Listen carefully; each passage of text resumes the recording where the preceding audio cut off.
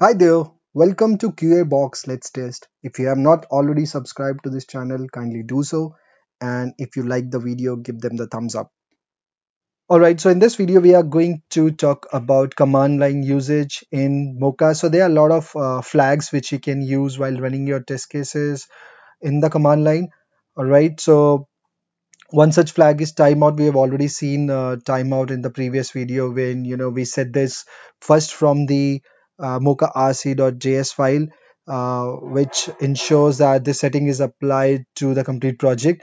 Then we moved on to the suite and the test level. All right so you can also provide the timeout configuration from your command line. All right the next one is parallel. So if you have two test files and you want to execute tests inside those files parallelly then you have to use this flag. All right uh, there are a lot of things which you have to uh, know before you use this flag because you know reports don't work uh, with uh, you know with this flag. Some reports right? Not all. Uh, then we have got this hyphen hyphen bail. So you want to abort your test case execution the moment you hit the first uh, fail test all right hyphen f and hyphen g are basically the test filters uh, and uh, what happens is let's say you have a suite which has got a lot of test cases but then there are certain test cases whose uh, name contain the word regression and you want to execute only those right? So with the help of hyphen f or hyphen g you can uh, filter out those test cases and execute only those all right so these are some of the important ones uh, so if you want to look at the complete list all you have to do is open your terminal and write and say mocha hyphen h which stands for help and you will see the list of all those options. And this is how you're going to use is mocha then you have the debug and the option in the file right? So these are the different options available. And what you can also do is you can open the uh, mocha mochajs.org and search for this command line usage. All right uh, so the first one is bail. Uh, now what you can do is you can either pass it from the command line all right or what you can also do is so you can go to your package.json and accordingly add a value. So instead uh, of updating this so let's say we are going to name it so this way you will learn one more concept. So we are going to give it a different name and let's say we are saying it config right or command line. All right so now we have created this. So what we are going to do is we are going to say hyphen bail all right so hyphen b. We are going to save that and let us come in here. So the first test case is failing the other two are passing all right? And the reason is i've added this extra t all right? So let me save this and this time because we are not going for the reserved keyword in node this is our own uh, command that we have created all right? So the way we are going to execute a node is npm run. We have to use run now and we have to provide in the the name of the script which is command line all right so if i okay not there i have to paste it here. All right so if i execute this i should see hyphen b. Yeah it's there. All right it's running.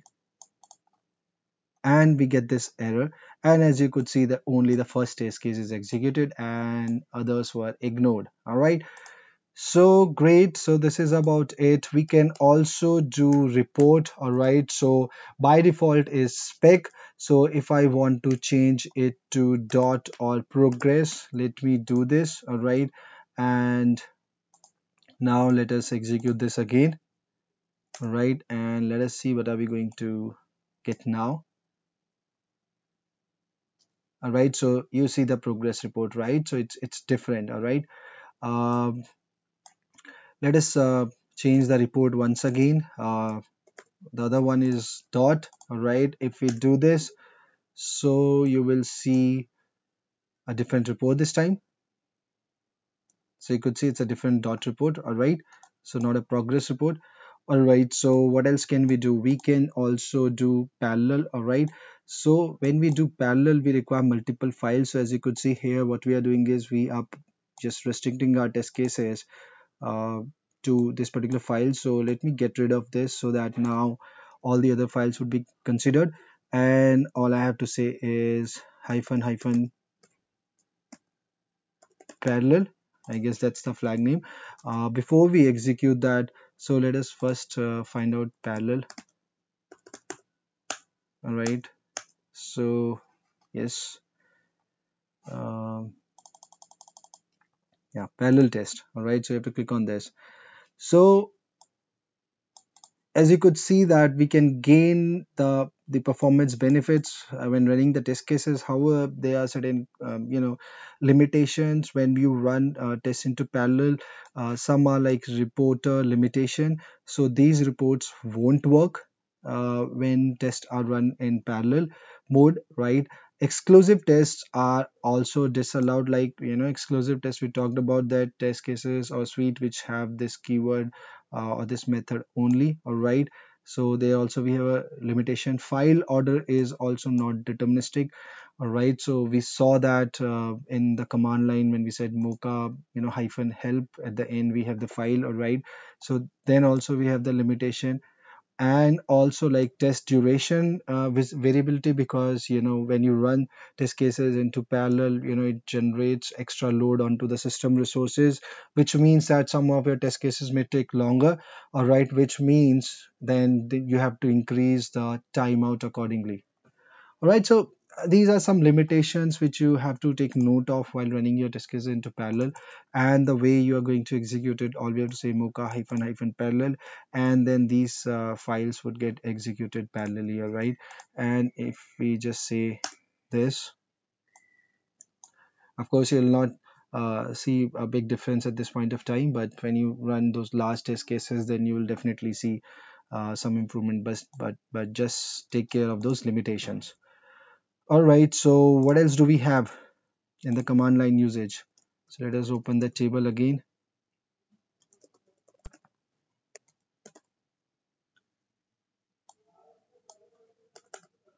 Yeah so command line usage.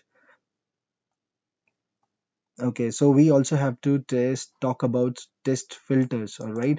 So let us see this particular thing in action so this is the last one that we are going to cover in the parameters. So for that uh, now I don't require this. All right and yeah we're good enough.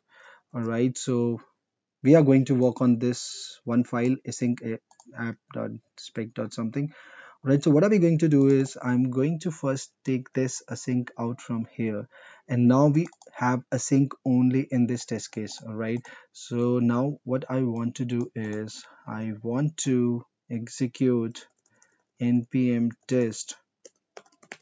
And what we can do here is we can say hyphen g and then we have to provide the string and the string says async all right? So I've saved this and I'm going to execute this only one test case should get executed because only one test case has that name. So as you could see that only one test case. So this is the suite and this is the name of the test case. And if you go here right so this is the test case all right so now what will happen if I add this word over here all right and now if we execute this